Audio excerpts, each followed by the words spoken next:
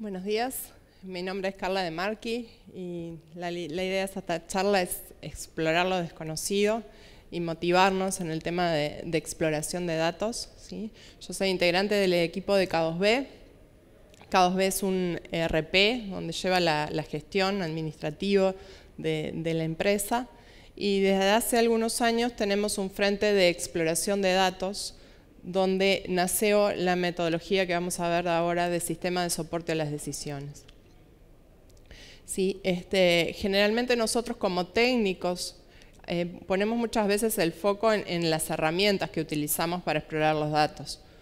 ¿sí? Creo que hoy en día eh, las herramientas están bastante maduras y considero que es el, momento de poner el tiempo en, el usuario, ¿sí? en cómo generar capacidades de explotación en los usuarios, en cómo estos conozcan los datos y generar capacidades de, aprendizaje en la organización. Sí, para eso este, sabemos que las preguntas son eh, súper importantes para generar aprendizaje, son, motivadores para este, llevarnos a encarar eh, nuevas acciones y nuevos proyectos. Entonces, para motivarnos en, las preguntas, es que eh, les voy a mostrar este videito, así nos motivamos en el resto de la charla en, preguntar y me parece que es bien oportuno con, el temario de la charla que se llama Cuestionar Todo, que es de Discovery Science. Lo que pretendía mostrar el video es que a través... Eh, vamos a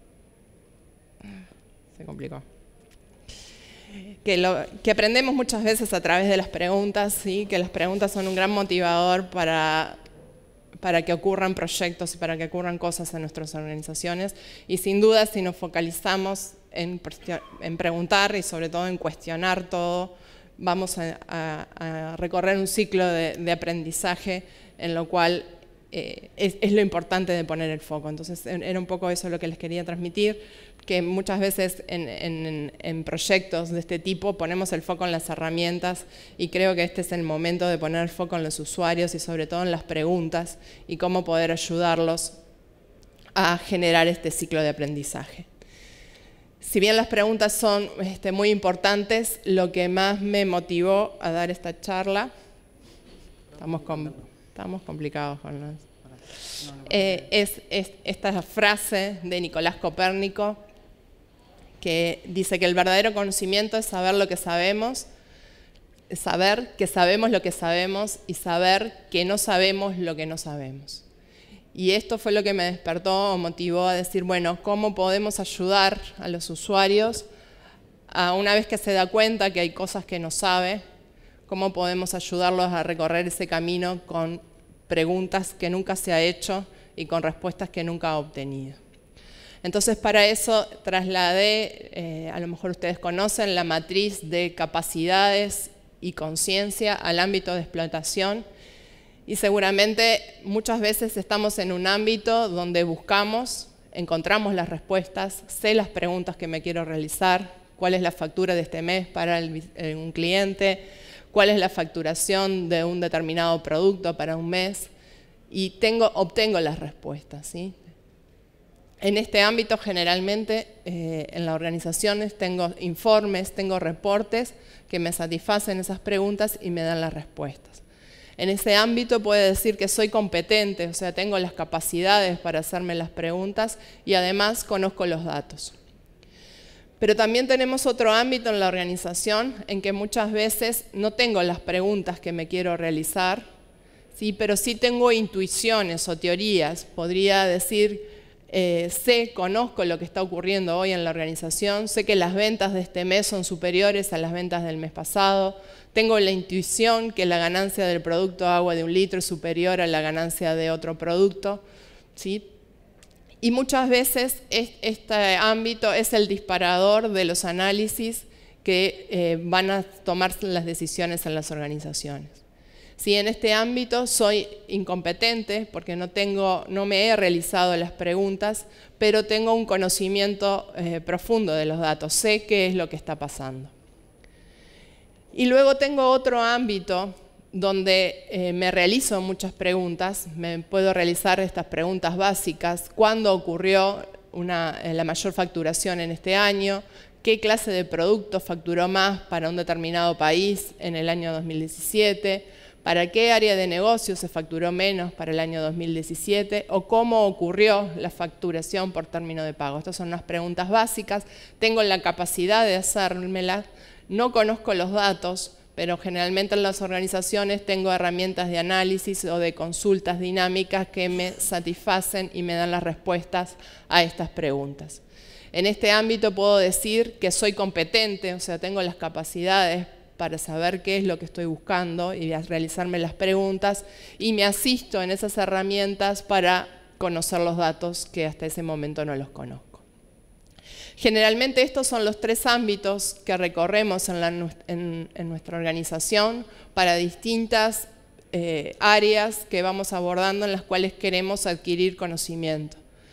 Y el proceso que generalmente se da es, eh, tengo una intuición, una teoría, este, de algo que está sucediendo en la organización, por ejemplo, las ventas de este mes eh, son superiores a las del mes pasado, y eso me lleva a formularme muchas preguntas en busca de datos que no conozco, me vuelve más competente en la búsqueda de datos, hasta que realmente encuentro el dato que satisface a esa teoría o a esa hipótesis que tenía y obtengo la respuesta que estaba buscando.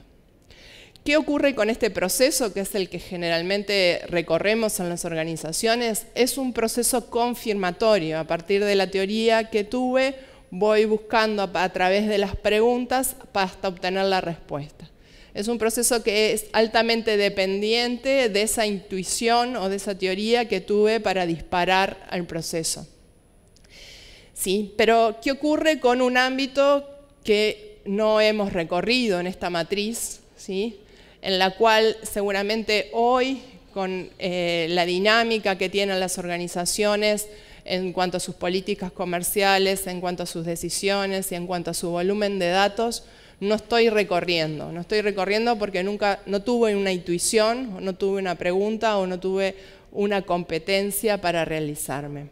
¿Cómo? O sea, y es lo que los invito a lo largo de esta charla, cómo eh, abordar este agujero negro, podríamos decir, en donde soy incompetente porque no tengo claro las preguntas que no he abordado y además seguramente hay muchísimos datos que no conozco. Entonces, eh, lo que sí eh, percibo es que si abordamos este, nuestro aprendizaje desde este agujero negro, podríamos decir, es, a diferencia del otro proceso que era confirmatorio, es un proceso más exploratorio, si yo eh, con la idea de ir aprendiendo más. Entonces, este proceso lo podemos decir que lo podemos abordar desde dos ámbitos. Uno, para volvernos más competentes, ¿sí? tener más preguntas que, de las que antes nunca me hacía. Entonces, eh, la propuesta es ponernos, ser más competentes o adquirir más aprendizaje a través de más y mejores preguntas. Y la otra opción para recorrer este camino o este proceso es conocer más los datos. Y eso lo voy a obtener con más y mejores respuestas. Entonces la metodología que, definimos o que hemos estado trabajando eh, tiene estos dos objetivos para adquirir aprendizaje. El primero era ser más competentes y por lo tanto poder formular más y mejores preguntas. Y para eso lo que nosotros hacemos o proponemos en la metodología o parte del trabajo que hacemos es construir el modelo conceptual. Si esto no es nada nuevo, ¿qué es el modelo conceptual? Es el, el lenguaje en el cual el usuario va a poder formular las preguntas. ¿sí? Esto no es nada nuevo, si ustedes han construido hace algunos años proyectos de Business Intelligence o de Data Warehouse, esto lo hacemos siempre, pero si quieren, eh, antes tenía mucho más foco en el usuario, en cuáles eran las preguntas que el usuario se quería eh, eh, responder. Y, y justamente lo que queremos hacer ahora es poder responder cualquier pregunta, no solo las que el usuario se imaginó o conoce. Entonces, para definir este modelo conceptual, la idea es pararnos en el modelo de datos y asegurar que el modelo conceptual que construyamos va a poder responder cualquier pregunta sobre ese modelo de datos. ¿Cuáles son los componentes de este modelo de datos? Bueno, son las áreas de decisión. ¿Sí? Dentro de las áreas de decisión tenemos perspectivas de análisis, a un conjunto de indicadores, un conjunto de dimensiones y un conjunto de funciones. Vamos a recorrer a cada uno de estos componentes del, del modelo conceptual. ¿Qué son las áreas y las perspectivas? Bueno, de las áreas de decisión podemos hablar de cualquier área de nuestra organización, las compras, las ventas, contabilidad, presupuesto, etcétera. Particularmente en esta charla vamos a hablar de las ventas. Dentro de las ventas tenemos, podemos tener distintas perspectivas de análisis. Podemos hablar de la planificación de la venta o de la ejecución. Y de vuelta en esta charla nos vamos a poner foco en, en el área de decisión de ventas y en la perspectiva de la ejecución de la venta. Luego, como dijimos, dentro del modelo tengo indicadores. ¿sí? Hay de vuelta, para que el modelo conceptual que construyamos pueda responder cualquier tipo de pregunta, vamos a clasificar los indicadores en dos grupos. Los indicadores que llamamos de negocio, que los vamos a clasificar en si son importes, cantidades o saldos, y los indicadores de gestión, que nos van a permitir analizar la cantidad de instancias, o la cantidad de facturas o la cantidad de pagos o cobros que se han realizado y los tiempos entre esas instancias, ¿sí? el tiempo que eh, transcurrió entre el cobro y el ingreso de la factura, por ejemplo. Una vez que tenemos eh, identificado todos los indicadores del modelo, en el caso de las ventas, o sea, los indicadores el centro de nuestras preguntas. En el caso de las ventas, en gestión vamos a hablar de la cantidad de facturas, la cantidad pendiente de cobrar, la cantidad descobradas y las cantidades vencidas. Y en términos de indicadores del negocio vamos a hablar del total facturado, el pendiente de cobrar, el cobrado y el vencido. ¿Cuál es la idea básica del modelo? Es que a partir de estos indicadores nos podamos responder cuatro preguntas básicas, que son cuándo ocurre la venta, qué es lo que se está vendiendo, cómo se está vendiendo y para quién se está vendiendo. Estas son las preguntas básicas del modelo y cuando decimos cuándo, es a partir de la fecha de la factura poder inferir un conjunto de dimensiones que en, las cuales especificamos las preguntas del cuándo, ¿no? Período, año, trimestre, mes, semana, día de la semana. Cuando hablamos del qué, qué es lo que se está vendiendo, ¿sí? Partimos del producto y todo lo que se puede inferir a partir del producto, la categoría, la clase, la familia, etcétera. Cuando hablamos el cómo, es cómo se está vendiendo, en qué unidad, en qué moneda, bajo qué término de pago, condiciones comerciales, condiciones de entrega, etc. Y en el para quién vamos a agrupar las dimensiones internas a la organización, que es la empresa, la sucursal, el área, el proyecto, y dimensiones externas de para quién estoy vendiendo, para qué cliente, de qué país es el cliente, de qué tipo de cliente, etc. Bien, estas son las preguntas básicas, pero dijimos que eh, el agujero negro lo queríamos recorrer y seguramente esas preguntas ya nos las hicimos, son las básicas. Y lo que propone es la metodología es que a partir de estas preguntas básicas podamos hacernos preguntas a través de funciones más avanzadas, ¿sí? como podría ser una contribución, un pareto, un what if o una correlación. Sin duda que estas son preguntas eh, más interesantes para hacernos. Nos podríamos preguntar cuáles son el, 80%, eh, perdón, el 20% de los clientes en un Pareto que me dan el 80% de las ganancias en la facturación.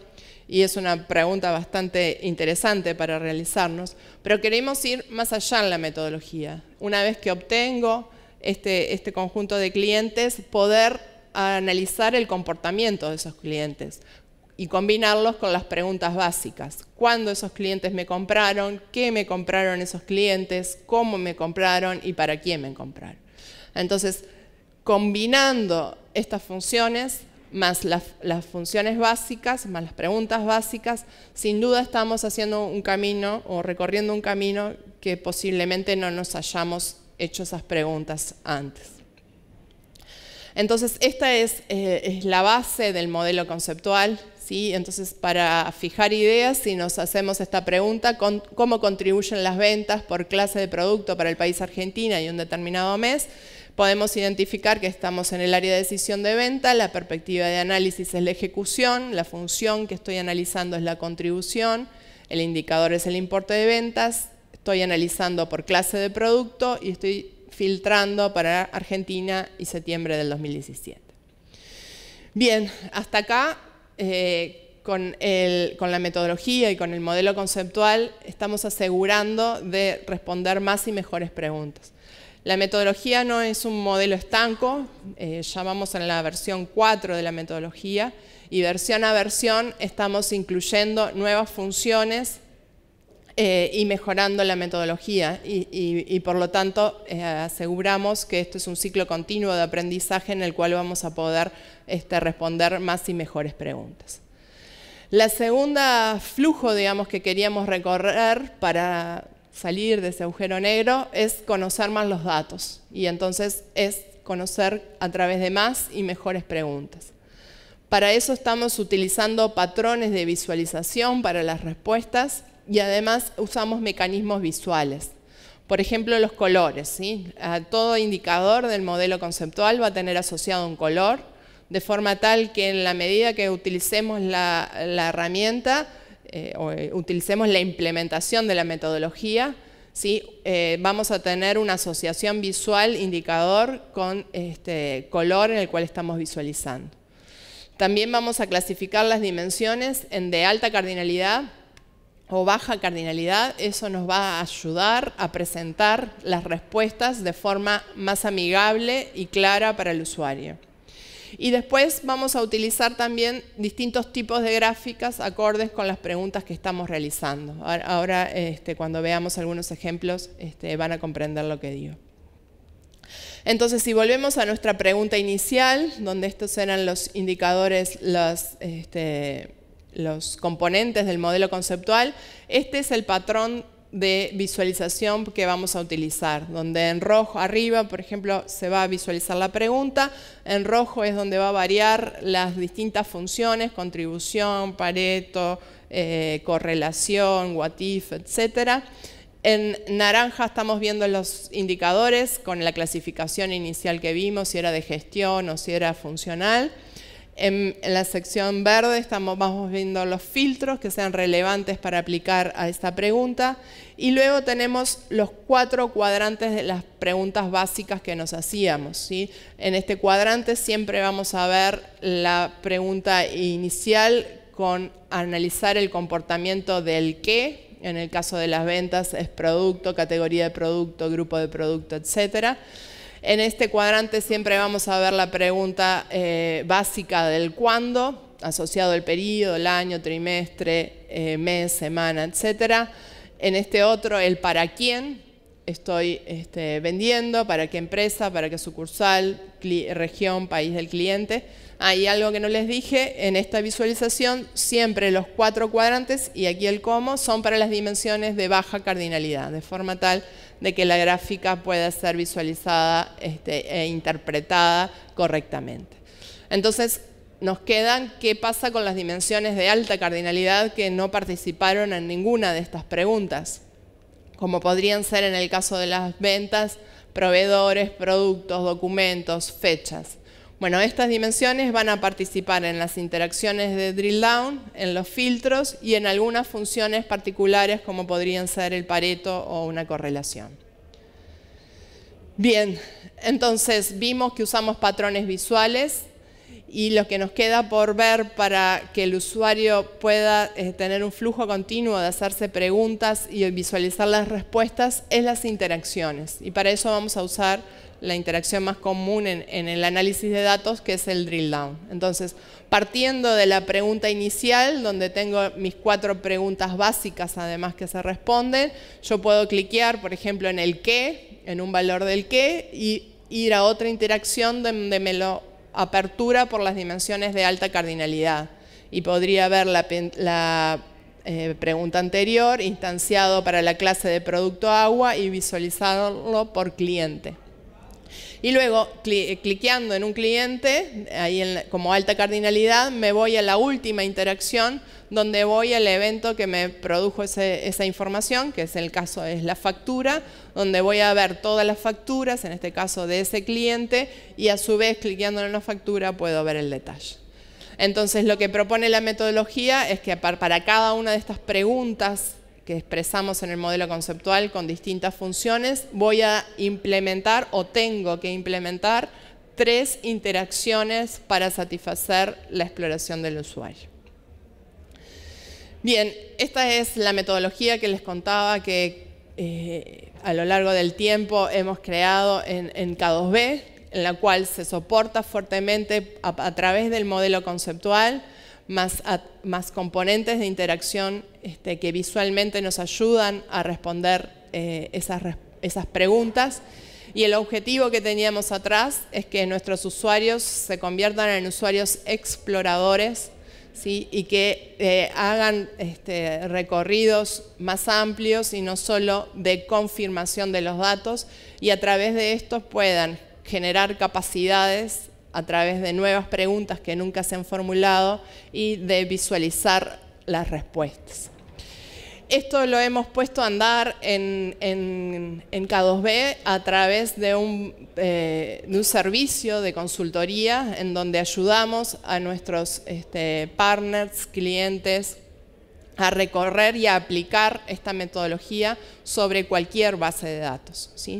Eh, aplicamos la metodología utilizando este, una metodología de implementación ágil, donde a partir del análisis se identifica cuál es el área de negocio que se va a, trabajar y la perspectiva de análisis. Ahí eh, se identifica claramente la fuente de datos y a partir del número de tablas podemos decir que en, distintos ámbitos como son salud o eh, financiero, ámbitos de financiero contable, hemos puesto a andar en poco tiempo, en un mes, eh, modelos de algo así como 50, 60 tablas aplicando esta metodología.